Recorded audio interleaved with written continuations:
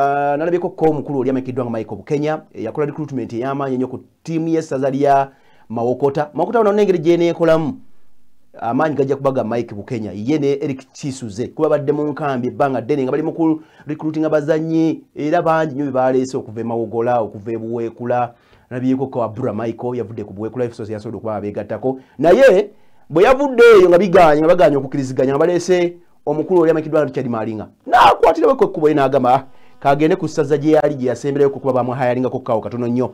Omusajja oyo amakiddwa mike bukenya tumumanyi ffenna yakuba omupiira ate n'agutendeka n'okugutendeka kati kuba ebbanga ddene yabadde kukama kya united.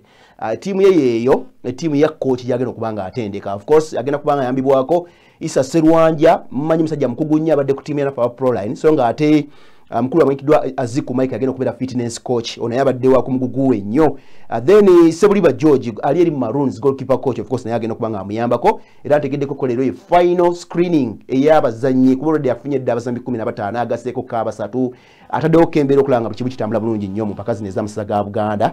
E, ku saidi ye ya coach. Yasembayo kutendeka coach eno yennyini nyini kati azeeyo naye nga yayitako kebuluuli yaliko kebusuju yaliko kebuweekulu eyo era yarecruitingako ku basambi ne bamuyamba. So tiimu ye eyo babaddewoko bulungi nnyo okulaba nga bascreening infact kyabadde nti kulonda tiimu n'abazze okuba trials era kyalabisekoko bulungi nnyo njatumulyemukko katono nnyo coach ono mike bukenya of course ng'atubuulira ku nsonga naki ekisuubirwa. Uh, mu tiimu ya kochi kochi eri mu kibinja omuli buweekula mulimu kozi buddu mulimu kyaddondo mulimu buluuli onooguwulira naye katono nyo katubuyemukko ku michael kenya ng'atubuulira ku kyokurikulutinga uh, bwebabadde nga bascreeningamuko ku basambi Neyanziza muganda wange jofule mugerwa. Uh, kochi bukenya michael drati gemanya uh, ndi kochi wa mupiira of course. Uh, nasamba omupiira guno ku levels zonna.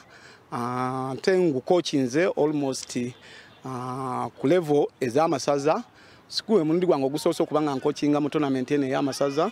Maze akabanga nga ndi mu tournament eno ekitegeeza nti experience njiina wano wonsangidde ssebo ndi ku ttiimu ya kochi uh, nga gye ngenda okukola nayo omwaka guno 2023 nga nzizeyo buzzi kubeera naliyo ne season ewedde ne ku mulundi guno bakama bange basiimye mbe nga nzirayo ate tube nga tukola emirimu gino season eno ne ttiimu eno eya kochi wano wetusanze tuli mukuba mufulendire ngezaako okulaba abalenzi benyongereza kwabo olwedde benali kuluti nga benina okuba nga baani benyongerako ssebo kwe kulaba eno fulendire gyosanze wano nga tusambamu ekika kyemmamba um, obusobozi bwange mu tonamenti eno ey'amasaza yensonga lwaki olaba nti sizoni eweddeko kiti yava mu kibinja nenzi nabadde omusale mu kulowoozebwako bukenya e, tukwagaliza birungi byerere mukwano gwaffe okuba nti ekintu kikwasiganya bulungi nyo maidadi sana emu ku bacoaches ezibesidautinga uh, mu mpaka z'amasaka ga buganda babaddemuko ebbanga experience tomanya eyinza okugattawo ennyo ennyini ddala. Okay